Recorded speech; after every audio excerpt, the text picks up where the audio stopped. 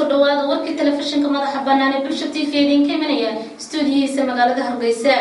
Qodobada daawadayaal habeenkan caawa warka ku maqli doontaana waxaa ka mid ah dadweynaha ku dhaqan xaafada falluuja ee magaalada hargeysa ayaa cabasho weyn muujiyey iyagoo xukuumadda somalilan noogu baaqay in ay ka warhayso baahiyo badan oo ay sheegeen inay ka jiraan xaafadaasi madaxweynaha somalilan mudane axmed maxamed maxamuud siraanyo ayaa dhaqangeliyey xeerka baanan islaami ah. Urur siyaasadeedka wadani ayaa munaasabad ballaadhan magaalada hargeysa ugu sameeyey mid ka mid a musharaxiinta doorashada golaha deegaanka uga qayb gali doona magaalada hargeysa. Daawadayaal kuwaasi waa qaar ka mid a qodobadii warka haatanna isagii oo faah-faahsan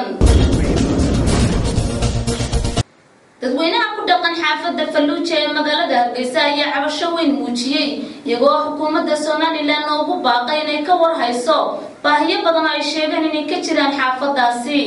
ku dhaqan xaafada falluuja ee degmada koob iyo soddonka mey ee magaalada hargeysa ayaa walaac iyo cabasho weyn ka muujiyey in ay xukuumadda jamhuuriyadda somalilan iska ilowday baahiyihii aasaasiga ahaa ee ay u baahnaayeen xaafadaasi waxayna tibaaxeen in ay xaafadaasi laga saaray dhammaanba mashaariicda mucaawinooyinka iyo samafalka ah ee ay hay'aduhu bixiyaan maadaama ay xaafadu tahay mid ballaadhan sida oo kale waxay hambaliyo u soo jeediyeen wasiirka wasaaradda waxbarashada marwo samsam cabdi aadan sida fiican ay uga warhayso waxbarashada xaafadaasi. Dadkani oo maanta la hadlayay qaar ka mida saxaafadan ayaa uga xog waramay waxyaabaha ay ka cabanayaan iyagooo sida oo kale dhaliilo ballaadhan u soo jeediyay maayarka caasimada hargeysa kuwaasi oo sheegay in uu u ballan qaaday inuu guud ahaanba dadka loo dhisi doono hooy iyo guryo ay galaan. Sidii loogu dhisay hay'addu ugu dhistay kuwii ka horreeyey dhinaca kale qaar ka mida dadkii halkaasi saaka ay kula kulantay warbaahintu ayaa hadalladoodii waxaa ka mid ah dadkuna si sharaf leh ayaanu uga soo baxnay miiskii iskumaanu dhejin iskumaanu nabin. Dowladda hoose nooma iman wadooyin nalooma samayn maxaan ku idhaahdayay? Wax dibudejina kaadhkii xiitaa degaanka dhul dadku dee barakucu la siinayana lama siin degan xaafada falluuja ayaa ka codsaday xukuumaddu in loo dhiso kaasi oo sheegay in ay u baahan yihiin wadooyin oo ay carabka ku adkeeyeen. Sheegeenna in ay dhibaato badani ka haysato maadaama ay meeshu tahay buuraley oo aanay waddo fiicnayn. Oo kale waxay sheegeen dadkani maanta halkaasi isugu yimi in ay u baahan yihiin in loo sameeyo. Gooba ay ka helaan biyo caafimaadkoodu fiican yahay maadaama ay biyaha ay cabbaan haatan tahay. Biyo ay soo dhaamiyaan booyadahu oo sixadooda caafimaad fiicnayn. Weyn dadkii halkaasi ka hadlay ayaa waxaa ka mid ahaa guddoomiyaha degmada koob iyo soddonka mey yunis sheekh cumar sheekh yuusuf waxaanuu tilmaamay in xafiiska hay'adda samafalka madaxtooyadu oo hoos u soo eegto dadkani danyarta. Ah sida oo kale guddida xaafadaasi oo iyaguna halkaasi ka hadlay ayaa soo dhoweeyey in xukuumadda jamhuuriyadda somalilan aanay u imanin marka keliya loo baahan yahay cod balse marka kale dadka danyarta ah hoos loo soo eego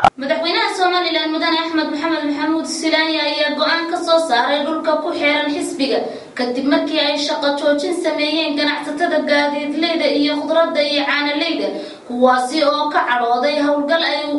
dowladda hoose kaga raraysay dhulkaasi. Sida lagu sheegay war-saxaafadeed xalay ka soo baxay qasriga madaxtooyada somalilan oo uu ku saxeixnaa afhayeenka madaxtooyada axmed saleebaan dhuxul. Madaxweynaha somalilan mudane axmed maxamed siilaanyo waxa uu amar ku bixiyey in aan dhulka ku xeeran guriga xisbiga aan la bixin karin la iibin karin sifo kalena loo isticmaali karin.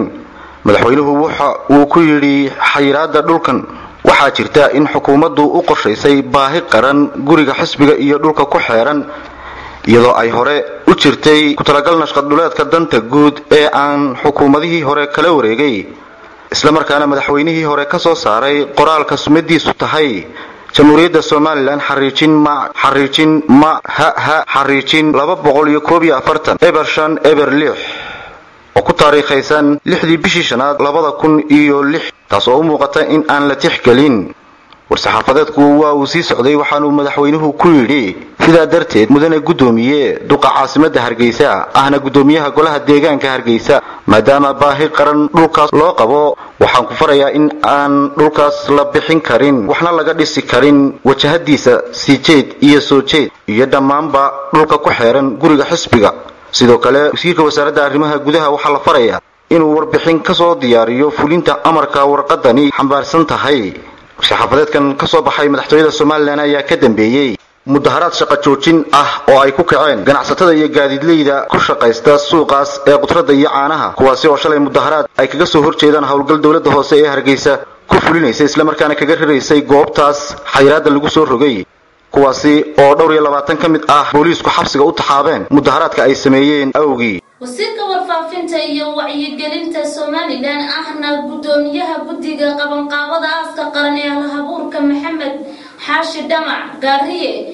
oo sheegay in la keeni doono meydka hal abuurka maalinta isniinta oo ku beegan sideeda bisha gudoomiyaha guddida qabanqaabada aaska marxuum maxamed xaashi dhamac gaariye islamarkaana wasiirka wasaaradda warfaafinta iyo wacyigelinta mudane abiib diiriya nuur ayaa maanta shaaca ka qaaday in meydka marxuumka la keeni doono. Dalka sideeda bisha aynu ku jirno. Wasiirka warfaafinta ahna gudoomiyaha guddida qabanqaabada waxa uu shacbiga reer somalilan ku wargelinayaa in meydka marxuum abwaan maxamed xaashi dhamac gaariye ilaahay naxariistii jannaha ugu deeqa laga soo dejin doono. Madaarka magaalada berbera maalinta isniinta ay taariikhdu tahay sideeda bisha tobnaad labada kun iyo labiyo tobanka saacadu markay tahay lixda subaxnimo wasiirka warfaafinta ahna gudoomiyaha guddida qabanqaabada aaska qaran ee loo samaynayo marxuumka. Waxa uu intaasi ku daray wasiirku in magaalada berbere laga soo gelbin doono meydka marxuum maxamed xaashi dhamaca gaariye islamarkaana lagu aasi doono magaalada hargeysa. Mudane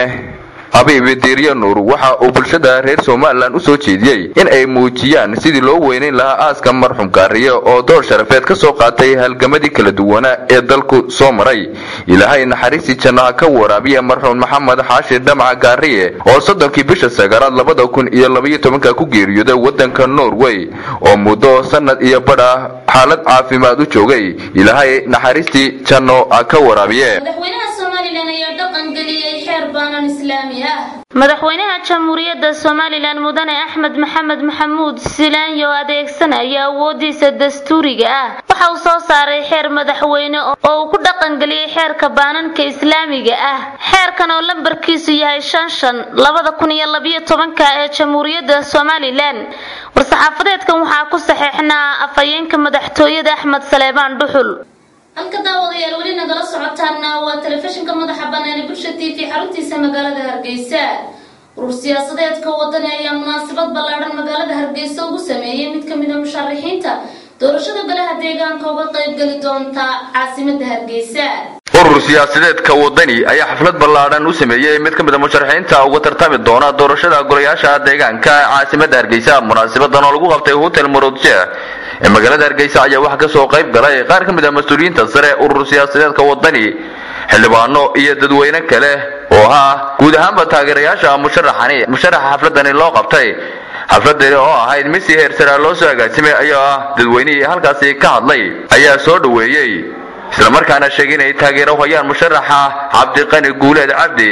kuwaasi oo xusay in ay aad ugu rajan wen yihiin in uu ku soo bixi doono doorashada golayaasha deegaanka ee la filaya in dhowaan dalka ka qabsoonto iyagoo ilaahay uga rajeeyey in ilaahay ka dhiga kii ku soo baxa doorashada golaha deegaanka. Islamarkaana ilaahay uga rajiyey in ilaahay ku guuleeyo in xilkaasi uu tartami doono in ilaahay ku asturo uu noqdo nin si xilkasnimada uga soo baxa. Xilkaasi loo igmaday iyagoo oo sheegay inuu yahay cabdiqani guuleed nin hanan kara xilkaasi dowladaha hoose ee uu tartami doono iyagoo ku dheeraaday inuu waayo aragnimo dheeraada u leeyahay islamarkaana uu wax badan ka qaban doono. Baahiyo badan oo dalka ka jira. Gabagabadii waxaa isaguna halkaasi ka hadlay musharaxa xafladani loo qabtay cabdiqani guuleed isaga oo ugu horeyn u mahad celiyey